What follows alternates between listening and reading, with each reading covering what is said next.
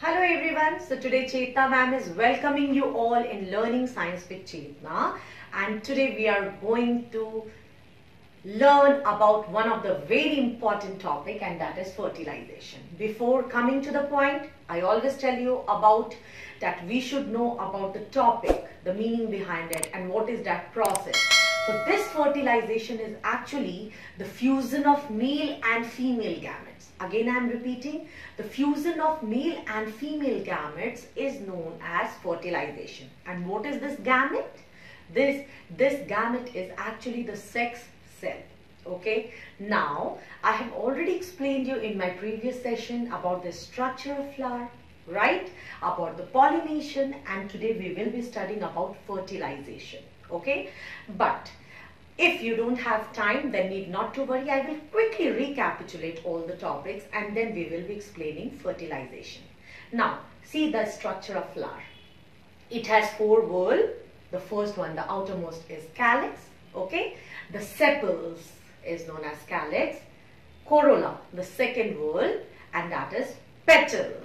Okay, the third is androecium and it comprises stamen and stamen is the male part. Now look at this structure, the structure of stamen. Now see, it has two parts. The upper one is anther, the lobed one, and the lower one is filament.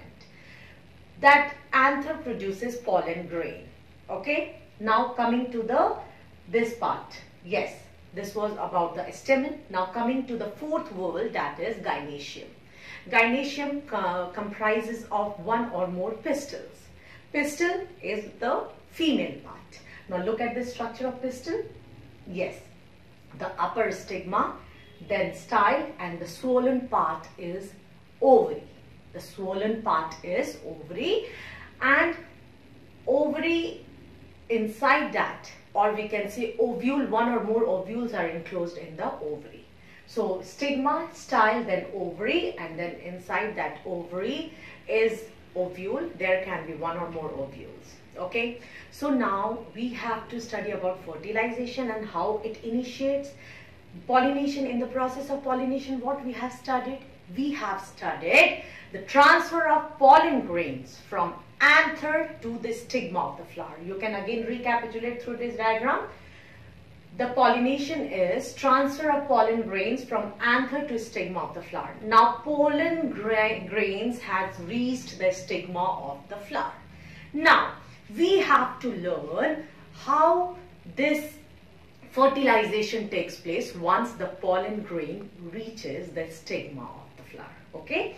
So before explaining you this, I would like to explain you the structure of ovule and also the structure of pollen grains so that it will be very clear in your mind about how the process begin. Okay, now see the structure of ovule first. Yes, inside the ovule is the embryo sac. Inside that, you see three upper side, the antipodal three cells are present.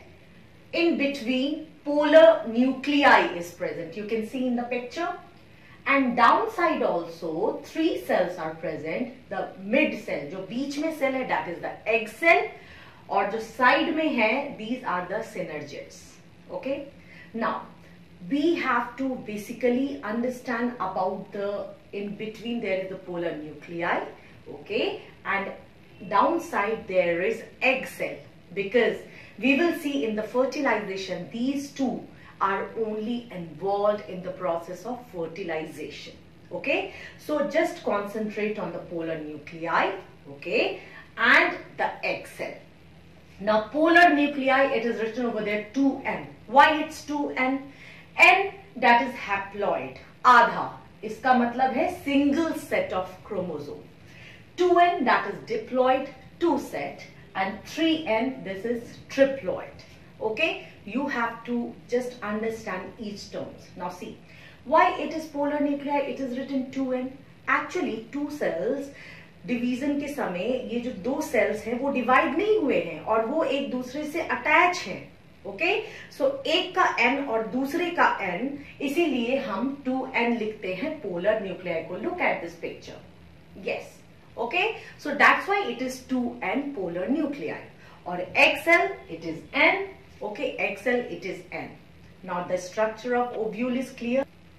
Okay, now we have already seen the structure of ovule. Now coming to the structure of pollen grain. Now look at this structure. Yes, inside the pollen grain you can see the vegetative cell and the generative cell. Okay, the vegetative cell inside the vegetative cell is the vegetative nucleus. Okay, inside the generative cell there is generative nucleus. Now why what are the use of these cells now vegetative cell helps in produ production or we can say helps in development of pollen tube vegetative cell now coming to generative cell generative cell of pollen grain it helps in formation of male gametes again i am repeating the pollen grain you can see the structure inside that there are two cells the vegetative cell vegetative cell is responsible for developing the pollen tube. Generative cell produces the male gametes. Okay. Now, yes. Now, when the pollen grain lands on the stigma of the flower. Now, look at this structure. Yes.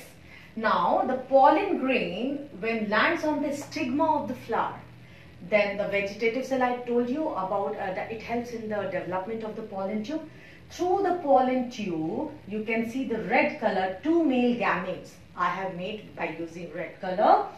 Male gametes comes inside the ovule through micropylar end. Yes, ये जो नीचे वाला end है जो ovule का उसको हम बोलते हैं माइक्रोपाइल जो कि आपको further in your 11 12 you have to study in the plus two okay but you should know a about it नीचे माइक्रोपाइलर एंड और ऊपर का बोलते हैं चैलेजल एंड ओके तो ये जो मेल गैमीट्स है, दो जो रेड कलर से I have just indicated it enters through the micropylar end okay I have just made this egg cell green colour से मैंने एक्सेल को डिनोट किया है because it will be make you easier to understand the concept अब one male gamete will or we can say it will fertilize with the egg cell. So egg cell is N and this male gamete is also N that is haploid. Okay. Now the second male gamete will fuse with the polar nuclei which is also known as secondary nucleus and I have explained you it is 2n okay and why it is 2n I have already explained you yes क्योंकि division के समय वो cell separate नहीं हुआ है दो cell attached है okay okay, तो एक का एन और दूसरे का एन तो उसको हम टू एन बोलते हैं that is it is known it is two N okay now fertilization one male gamete fuse with xn that is n in number n plus n that is haploid plus haploid. Syngamy is the process. It will form zygote. Yes 2n that is diploid. This is the first fertilization the second one. Second male gamete this one will again fuse with the polar nuclei. I told you that is 2n in number. Triple fusion. Why it is triple fusion? Because 2n plus n teen milk egg.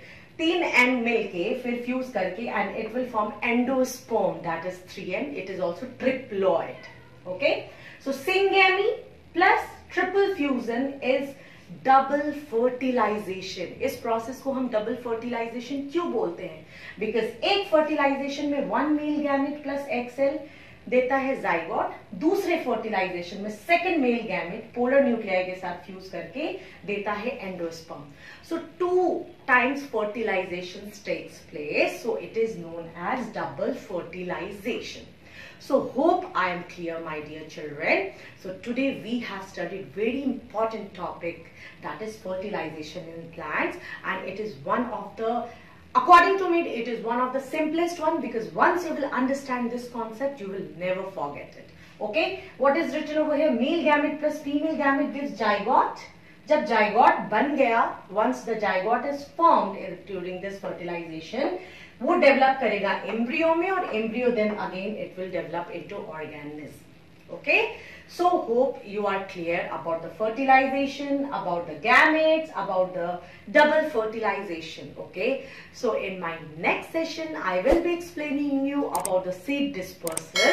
Until then, bye-bye, take care, stay safe, stay connected and do not forget to like, share and subscribe my YouTube channel, Learning Science with Chetna.